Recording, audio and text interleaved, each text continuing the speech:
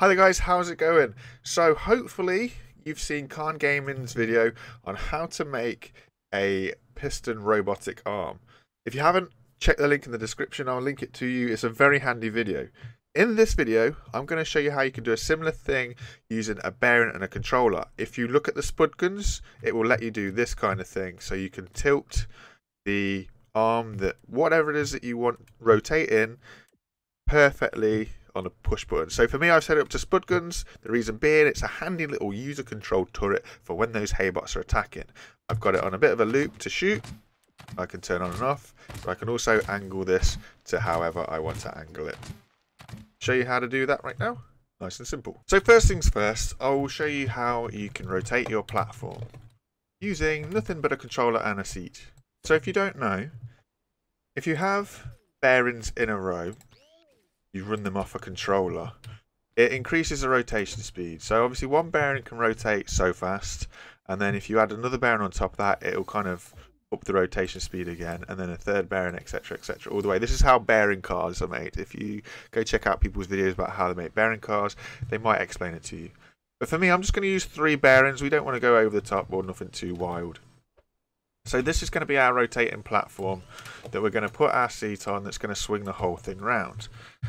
Nice and easy. Chuck a seat on it.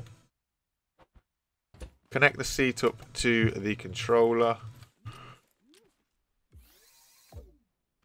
So now we've got set up our controller. In our controller, we, we want kind of fine-tuned turning. So I'm going to look at doing sort of I'm going to look at 10 degrees. And this basically means it will kind of rotate in 10 degree intervals that you won't notice when you're in the seat. But it will enable you to spin around. And when you stop, it will kind of go to the closest 10 degrees. So set it to a small interval. Put the loop on. Connect the controller to the seat. Have all the bearings facing the same way and all set up the same. Now if we jump on and I press forwards, we'll rotate slowly in one direction. And if I let go, it will go to the nearest 10 degrees. If I press back, we will rotate in the opposite direction, and if I let go, we'll stop at the closest 10 degrees. So that is how you move this thing left and right. But what about those there cannons? How do we get those working? Okay, so it's nice and easy. I'm going to pull out a little bit of a platform here. And this is where we're going to put our sort of cannon rotation. So obviously they need a bearing to pivot on. And then we need a block you don't really need this block, I suppose. If you could wedge in your spud guns in there, you're okay. But I'm just going to do a block, and I'm going to stuff my spud guns on here. And due to the weight, it's going to fall down. Okay, so the system for the spud gun rotation. You are going to need four logic gates. So you need three to create a loop and then you need one to control the controller. The reason why we need that one to control the controller is, without it, our controller will only ever rotate in one direction. So that will help us rotate in the opposite direction. Then I'm going to need two push buttons to let us go one way or the other way. Okay? So this is how we set this up. We need to set this loop up so it's kind of a pulsing loop. So you have one AND gate. And the AND gate goes into an OR gate. That OR gate then goes into a NOR gate. And that NOR gate goes back to the AND gate. Okay, so that's what you should have right now. Should be flying around, pulsing as it goes. Lovely jubbly. Then we go from the NOR gate into a separate logic block. Now, as it is right now, this logic block is an AND gate and it is currently pulsing. I have often had problems with this where this AND gate will not pulse and it has kind of caused me complications with the system. So I have turned this to an OR gate. Okay.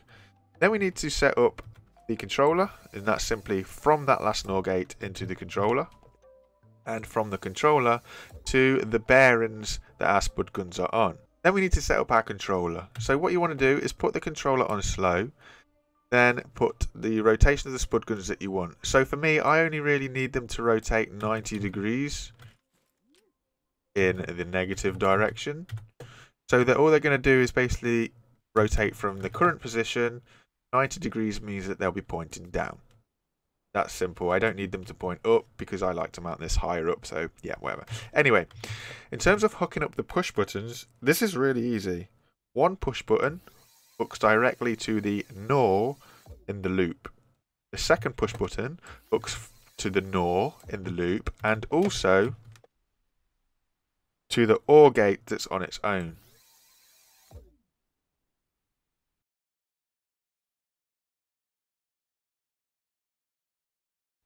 So if you look at that Spud controller, if we press one push button, it will go down. If we let go, it will stop. If we press the second, it will go back up and it will stop when we let go. It can't go any higher than what the controller is set to zero, if you like. This, likewise, it will go all the way down until it gets to 90, and then once it gets to 90, can't go any further. Not because it's hitting the ground, it's because it literally can't go any further. We've told it not to go any further than 90. So, it's that simple. Then obviously you connect those two push buttons to the seat. And if we jump on, we have controls. So, number two lifts it up. Number one puts it down. Forwards, turns us right. Backwards, turns us left. Really, really that simple. And how do you set up the firing sequence? Well, if you remember my repeater circuit that I showed you guys a while back, I I did it like this. So I use a timer I use a NAND gate and I use an OR gate. And I literally go in a loop. And then all we need to do is connect any of those up to our spud guns. And obviously they're firing like crazy, which isn't really what we want. So we'll put a switch in, connect the switch, the spud guns are off. Connect the switch to the seat. Bosh. Jump in the seat. So we now have left rotation and right rotation. We can control our spud guns up and down. And we can now turn our firing on and off. Obviously that's quite quick, so if we want to, we can go into our timer and we can slow this down so we're not racing through spuds. It's easy to go through a lot of spuds if you're using that timer.